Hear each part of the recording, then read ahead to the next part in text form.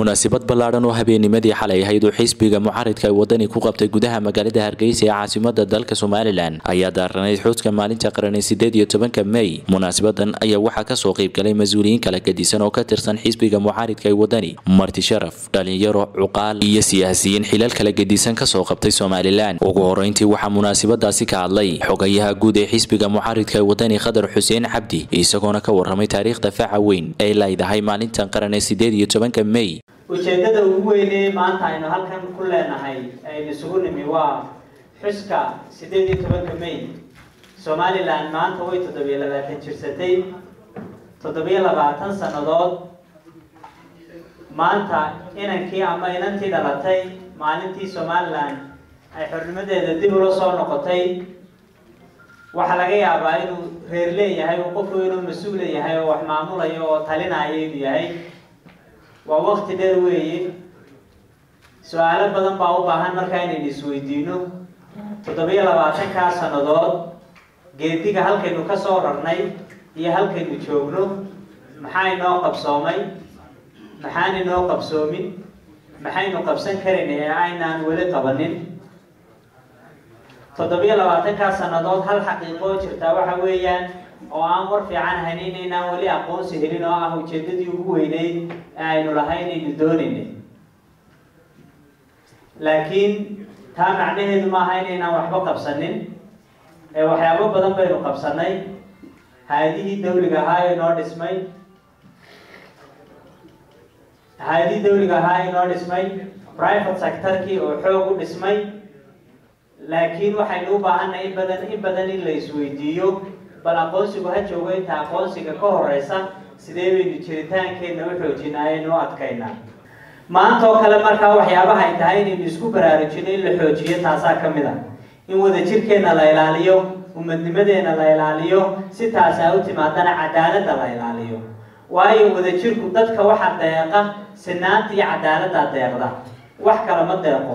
Waxa yare aad u haysee haba yaraadee haddii ay dareemeen inaad si cadaalada ugu qaybinayso waxay dareemayaan inay waxaan wada leeyihiin.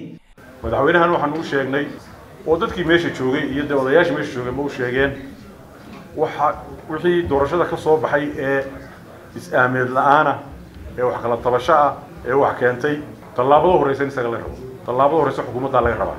Annagoo diyaar baanu u nahay hadday talo wanaagsan la timaado oy tiraa waxaa iyo waxaasaan qabanaya maxay idinla tahay?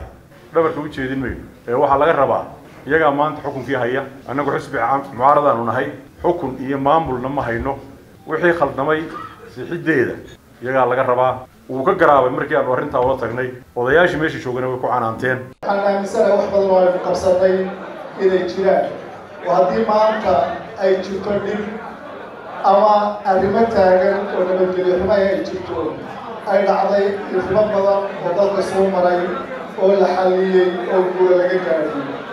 Ay jirto dhismo qaran iyo hay'adihii dowliga iyo institutionskii iyo shuruucdii dalka oo la dhisay ay jirto doorashooyin aynu gallay oo kala dambeeya oo heerarkii kala duwanaa ee dalka ah wax badan baa runtii inoo qabsoomay caqabadahooduna waa la socdeen iyaguna intaa in leeloo caqabadaahina waa ila socdeen waxaynu rajaynaynaa insha allahu tacaala iyadoo aan arrinteenu dhaliil uu ku dhammaanin in wixii khaldana la soxo cid walibana roolka ay leedahay ay qaato insha allahu tacaala sidoo kalena munaasabadaasi waxaa ka hadlay cuqaal siyaasiyiin iyo waxgarad ka tirsan bulshada somalilan iyagoona sheegay in siyaasadda waqti xaadirkan taagani ay booga badan ku reebtay bulshaweynta reer somalilan. Sidoo kalena wax laga xumaada ku tilmaamay in toddobiyo labaatan sano kadib la bedelo wakhtigii la xusi jiray maalinta qaran ee sideed iyo tobanka mey waxa weeye toddobiyo labaatankaa sannadood markaan soo ururiyo waxaa maanta keenay in somalilan kala jeedo oo ay toddobiyo labaatan sannadood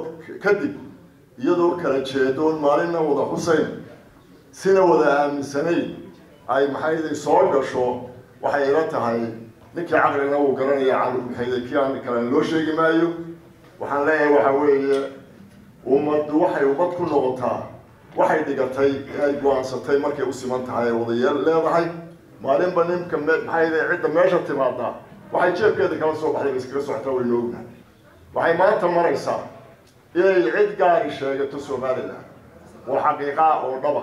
Doorashaa la gelayaa waa la tartamayaa dhibaatooyin badan baa ka imanaya. Waxaan runtii soo jeedinaa mar kasta in madaxda xisbiyada iyo siyaasiyiintu ay bulshada isku soo celiyaan oo ay noqotay bulshada la isku soo celiyo dadka lala hadlo. Maxaa la yidhahdaa dadka dib la isugu keeno waayo doorasho dadku way kala fadhisaa dadku xisbiyay kala noqdaan fakeray ku kala baydhaan aragtibay ku kala baydhaan markaa taasi doorashadu xana fara badan badan ayay ka tagtaa meel kastoo dunida. Ah anigu waxaan is leeyahay ummaddan inta yara qaybsanaana ee dhex taallaa waxay ka dhalatay oy salka ku haysaa waa doorashadii ugu dambaysay u galay. Markay sidaa tahay waxaa loo baahan yahay labada xisbi ee kulmiya iyo waddani inay wada fadhiistaan qarannimo ku wada fadhiistaan. Wixii tabashaa ay kala tabanayaan ay rogrogaan isla eegaan isu tanaasulaan. Xariir maxamed kosaar star t v hargeysa